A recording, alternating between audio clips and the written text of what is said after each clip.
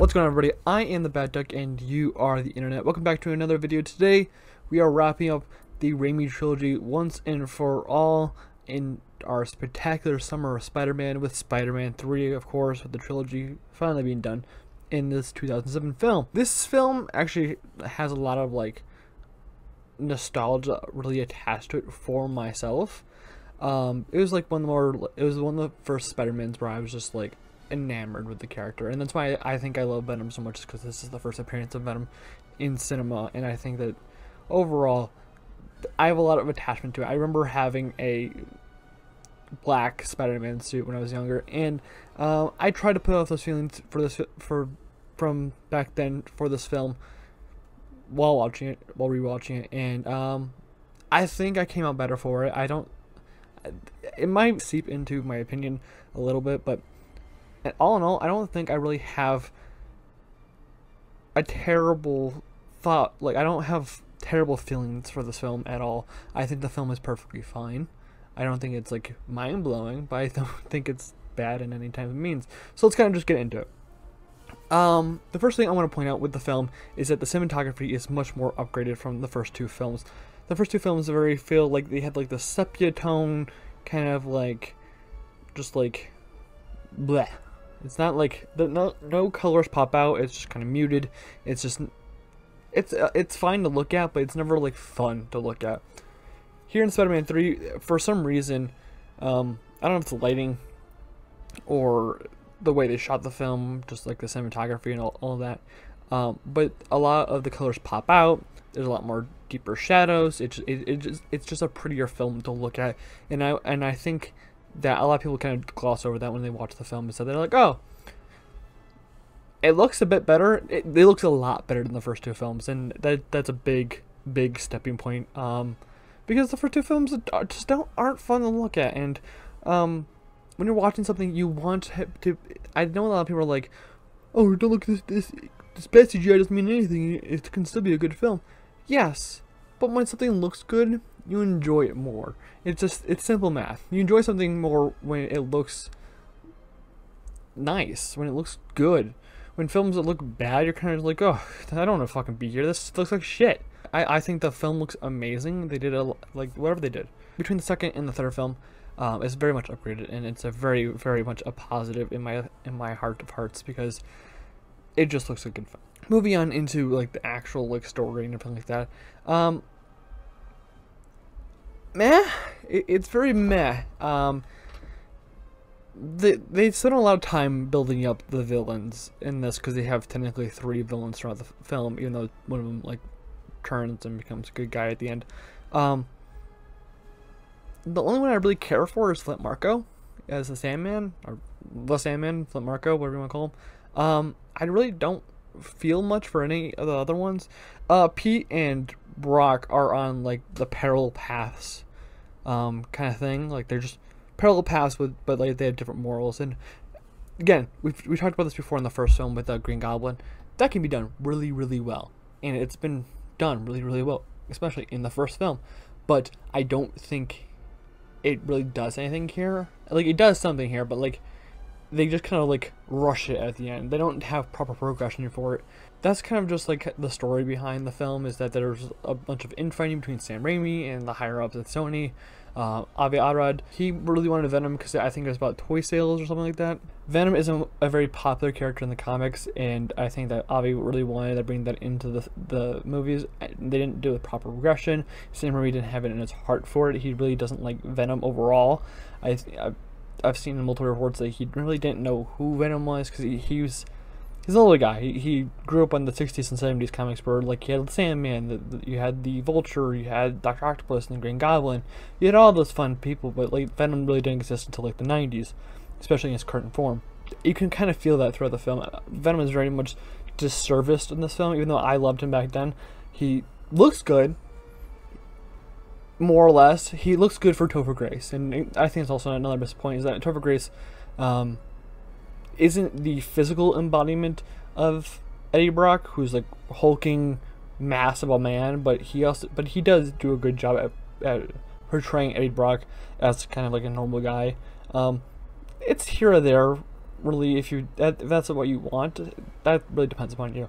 Um, I didn't really find it to be an issue. I think Topher Grace did a great job as Eddie Brock, but yeah, um, but yeah, the two are on parallel paths, but different morals. We saw that with Spider-Man One with the Green Goblin and Pete, but here it's just kind of like I don't really give a shit because this conflict between the two is kind of just there for the plot, and it, it don't you don't feel the hate between the two, um, especially when Pete's in like the black suit. He doesn't feel like he actually hates him, um, more or even just doesn't like him. He just wants the job that uh, J. Jonah Jameson has kind of been holding over his head or holding from him. So it's fine. the The story there is okay. I don't really care for it. Um, the Sandman uh, story is wonderfully done. Um, and that that's because Sam Raimi really wanted to do it. He really understood the character of the Sandman, and I just understood how to make that character, you know, vulnerable and portray that on the screen. And it's wonderfully done in that one scene where after the the collider or whatever you want to call it, um, that beautiful like literally quiet scene of him just trying to pick up the pendant or whatever it's called and it's it's just wonderfully done. And that's where all most of the CGI budget went went to uh, in the end, I think, because uh, a lot of the CGI, well, it looks good and it looks better than the first film. Um, kind of takes a step back from the second film because a lot of this looks more like rubber and very much P, uh, PS3 gra graphics, which is, you know, the time when this was made, 2007, was right in the middle of uh, the PS3 and uh, Xbox 360 era, so it's not like it's out of place, but like it could be better. um, but if it's for that amazing shot, I can get over those that CGI. It's not terrible where it's like throwing me out of the film, um, but it's fine. Um, the Harry Osborn final confrontation between him and Peter um, is okay. Again, I think that they had a lot of they didn't have a lot of time to kind of like figure out what to do with Harry in this film. They kind of just chucked him together and just kind of threw him at a wall in the end. And I think like that goes back to like having him having amnesia at the beginning of the film is kind of just like convenient in the end. I, I just think it's dumb.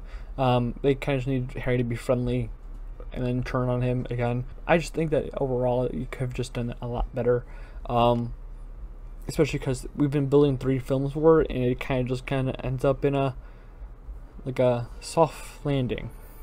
And that's never like a like a oh shit. And they, they team up at the end, which is nice. It's it's great to see, but like I just don't.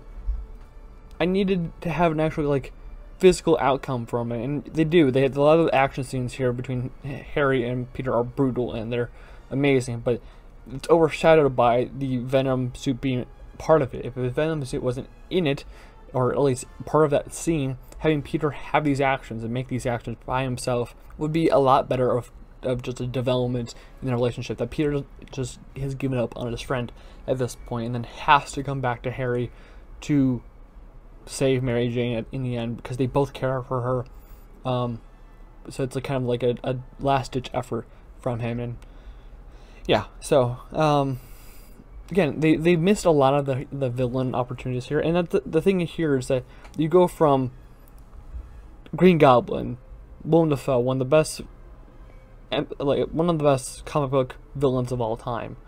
And then go into Doc Ock, who I believe is the best comic book villain of all time. I'm, I, I put him like top ten, top fifteen. Let's hear there. Um, but you go from two great villains, and then you go into, hey, there's this dude. Who, he kind of just like is a dick, and has rivalry with Peter because of the story. We have this guy who wants to like save his daughter, and then we retcon the first film and say that he actually killed Uncle Ben. Whoa, like why did you have to do that? Um, but yeah, like, and then you have the third one, which you building up this villain for, but you kind of just like don't do much with it. So, um, neither here nor there. I think that the villains are just a lot. There's a lot of villains. It's quantity over quality here, and I don't really hold the film against it. I think it's perfectly fine with three villains, so it's whatever. Peter, um, I'm fine with. A lot of people are like Pete with the Venom suit is just cringy and like like just gross. Yes, that's the point. The point of him is to be an asshole because that's what the suit is doing, and this is what he and the suit is like under cool and and hip or whatever you want to call it. Um, And this is what Pete thinks cool and hip is. That's the whole point. Pete's a loser. He's gonna do loser things that he thinks is cool. So I don't. I think the Bully Maguire scene, especially the dancing, is perfectly fine and perfectly in character. I think it's actually helps the film overall, um, and just exemplifies how fucking dumb this is, or how Pete has just kind of fallen. Mary Jane, um, I still have a problem with. She's better in this film, actually. I thought she'd be worse in this film. From what I remember, she's just a screaming damsel in distress, which she has been in the last three films. Quite literally, she is the fucking like the, the climax point in all three of these films is that hey we're gonna drop her off a br- bridge from green goblin you know call it make kind of call it to like gwen stacy um, and then two she's kidnapped by dr octopus to the reactor because he because he needs to drag out spider-man um and then three venom takes her she literally is the climactic point in all of these. It's the whole reason. Now, and from that point, I don't know how anyone does not find out that Peter is Spider-Man. Just saying. Maybe maybe look into like Mary Jane's dating history. Probably a good idea. Maybe they come across the like astronaut. Might be like, "Yo, astronaut, are you Spider-Man?" Um, but yeah, I, I, she's better, I guess, in this film. She actually has reasons to complain. I get, I get that like the last few films that Peter's kind of just absent because he's been trying to do with Spider-Man stuff, and that makes sense but perfectly. But she actually has reasons to complain about Pete in this film. That's again mostly due to the Venom, Venom suit, but also because of his shitty actions throughout the film. Because um, towards the beginning of the film, after he saves Bryce Dallas, Dallas Howard's Gwen Stacy, um, he kisses her as Spider-Man, but like still kisses her. He's about to be married to her or try to get married to her, and uh, married to um, MJ and he kisses another woman. It, she has a reason to be pissed. There's other reasons to be pissed throughout the film as well, but again, some of those are from the Venom suit. Um, but yeah, I didn't really have a huge problem with her. Um, moving to Harry Osborn, um, another mainstay in the film in, in the trilogy. They took a step back. They had this epic build up, this like hatred build up from the second film. Like it, you can, it is palpable, palpable, and they kind of just like, oh, let's give him amnesia at the beginning of the film after he attacks Peter. Okay, so now he's not Harry for the next hour, or the Harry that's been like brewing this vengeance for, who could be creating problems from for Peter throughout the film. Um, I think, which would be a much more beneficial part of like his part in the film, but um, they didn't take that part. So, um, but yeah, um, he gets amnesia throughout the film, and it just kind of just like well, fuck, you know, what, what are we gonna do now? And then they, he remembers eventually. They have the, they have that whole like scuffle in the, like the living room area, which is a really good action scene. Um, all the action scenes here are great, especially the Harry versus Peter action scenes are have been are amazing. Um, I think that they're well choreographed and well done. Um, but yeah, moving back to uh, Harry's character, um, and then he kind of just like after that, and after Bernard tells him that his his father killed like killed himself, it doesn't feel like a proper ending for that rivalry and that that anger. Um, but like it's, it's fine. Again, all these choices are not great choices, but they were fine choices. I this film is like I said, is fine. It's well done, but like okay in the end. It's not a bad film it, in whatever respect. It's it's a good film and just I think a lot of people need to look back at it and kind of like dissect it properly and kind of look at it through the lens of this the film by itself. You can't put it within the trilogy because the trilogy is amazing. I, the first two films are um, nine to nine and eight out of tens. This film is, is like a seven, and that eight to seven drop is a big drop. It's a, it's from a good film to an average film, and here it's just an average film. I don't think there's a problem with having an average film here. Um, every every trilogy has that meh film. There's the Return of the Jedi's of um, Star Wars. Return of the Jedi. It's an okay film. You can't do three films in a row and be perfect on all three. It, it happens. So, um, yeah, I think that again we need to look back at this film in respective of what uh, is, is it a good film by itself, and that's all you really need to do. Because if you can't, you can't not, you can't critique a film based off its other counterparts. You can't critique it based off of its previous installments. It, it just that's bad cri- criticism. It's criticizing something for its past, and you criticize it for what it is. And what it, the film is is okay, and that's perfectly fine. And I think that you know, it's good to have okay films from time to time. Thank you guys for watching. I'm the BatDuck, and you are the internet. I will see you guys in the next video, which is next week's Amazing Spider-Man. We're going to the reboot with Andrew Garfield and the Lizard in that weird um, sunglass mask. I, we'll talk about it next week. Um, but yeah, thank you guys for watching. Uh, merch is in the, in the description below. Remember to subscribe; it is always free. And I'll see you guys next week.